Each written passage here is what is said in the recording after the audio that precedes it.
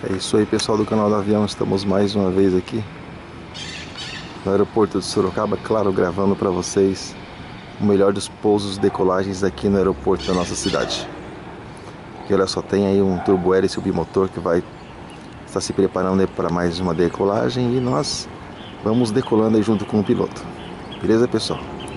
Aquela famosa encarada na pista e partindo para a correria então. Ronco dos motores, vou deixar você ouvir à vontade aí.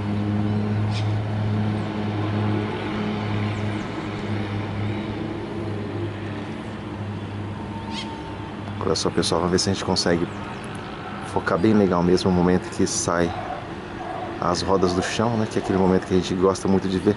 E pessoal, foi muito rápido.